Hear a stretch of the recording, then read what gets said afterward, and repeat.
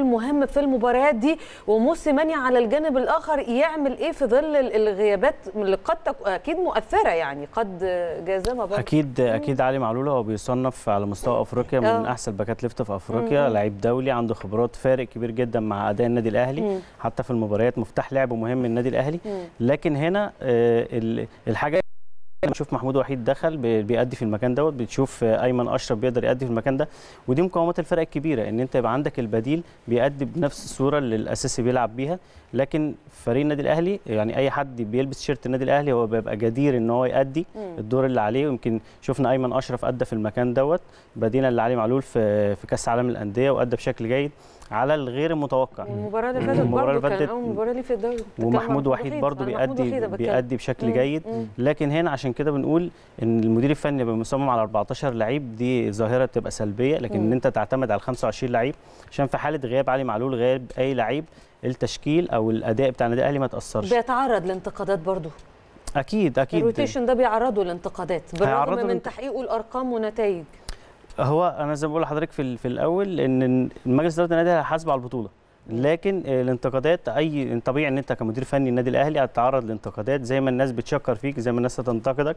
لكن مهم جدا إن أنت تعالج سلبياتك كمدير فني. وفي الأول وفي الآخر أنت بتحقق المكسب بتحقق الثلاثه بونت برغم إن النادي الأهلي بيختلف عن أي نادي تاني إن هو بيلعب في أكتر من بطولة. وبيتعرض للإجهاد المستمر كل أربع أيام مباراة فيسافر في أفريقيا وبعد كده يرجع يلعب في الدوري بعد كده يسافر أفريقيا تاني. فده إجهاد أي فريق في مصر ما بيتعرضش للإجهاد ده فده لازم يتحط برضه في ال- في الحسبان بتاع. بتاع الناس إن النادي الأهلي ب- من كل من مباراة لمباراة عشان كده لما بيحصل عملية ال rotation في اللعيبة. ده مهم جدا إن ال 25 لعيب يبقى رجلهم في الملعب عشان فورمة المباريات طبعا طب بالنسبة لل rotation واتكلمت على أيمن أشرف واتكلمت على محمود وحيد وجهة نظرك الفنية أو متطلبات المباراة اللي جاية تفتكر على المستوى ال back الشمال نطلع أيمن أشرف ويلعب ياسر إبراهيم ك third back ويبقى محمود وحيد معاك ولا تكمل تدي محمود وحيد وتستفيد بأيمن أشرف والثنائي أو الدويتو الرائع اللي بيعمله مع بدر بنون. فنيا أنت شايف أيمن أشرف في المباراة دي محتاجينه كباك شمال ولا آه، نشتغل بمحمود وحيد ويبقى أيمن أشرف سرد باك؟ أكيد يا كابتن هاني في المباريات اللي فاتت كنا بنشوف إن مستر موسيماني بيتطرق لطريقه لطريقه 4 3 3 لكن آه، أول ما ما- ما بتلعب بطريقه 4 3 3 ده بيديك مؤشر إن الراجل عايز يأمن نص الملعب عايز يدافع بشكل جيد. لكن أنا بشوف الطريقة المناسبة للنادي الأهلي 4 2 3 1 حتى لو عايز تدافع بس. بتكلف طرفين الملعب. بأدوار دفاعية. لكن أنا بشوف إن مباراة زي دي أنت محتاج أيمن أشرف إن أيمن أشرف بيدافع بشكل جيد. محتاجه ك third back؟ ك back left. ك back left يعني يلعب يلعب ك back رأيك left. إن ياسر إبراهيم يلعب جنب بدر بنون وأيمن أشرف؟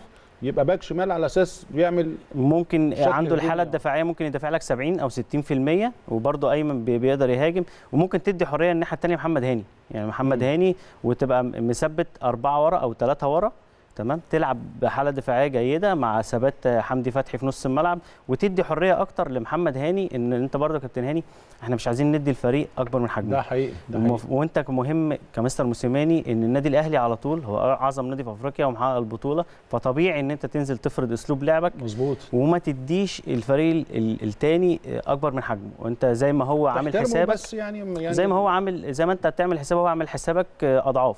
صحيح. لأن أنت فريق محقق البطولة النادي الأهلي في أفريقيا هو كتاب مفتوح مم. لكن ما يميز النادي الأهلي إن. هو عنده مفاتيح لعب كتير جدا عنده بدايل تقدر تفيدك أنت كمدير فني إن أنت تغير من أساليب لعبك داخل الملعب أنت عندك اللعيبه بتلعب في أكتر من مركز صحيح آه،. دي بيديك مرونة تكتيكية حتى مش لازم يخسرك تغيير لكن ممكن تبدل من من جوه الملعب آه، بالظبط. لكن في الحالة دي حتى لو لعبت أيمن أشرف وحصل حاجة مثلا في في ال stoppers في ال third باكات أنت ممكن تدخله ك back left ك third back وت- و- و- تنزل محمود وتنزل وحيد. محمود وحيد حسب مجريات المباراة. لكن مهم على مستر موسيماني إن هو يقسم المباراة. يعني يقسم المباراة آه، أول ربع ساعة هيعمل إيه؟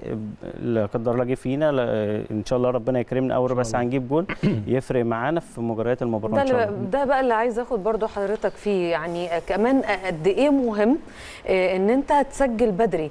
وده يمكن اللي الفريق النهارده ما بيحققوش بشكل كبير على مدار المباريات اللي فاتت تحديدا الشوية القليلين اللي فاتوا.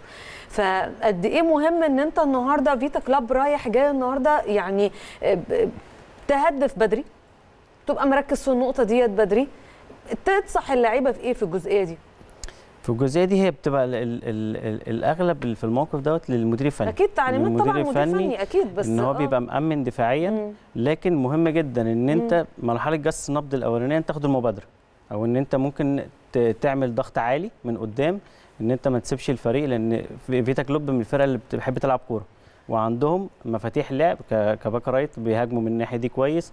فعشان كده بقول لحضرتك يا كابتن يا أستاذ هيام إن أيمن أشرف مهم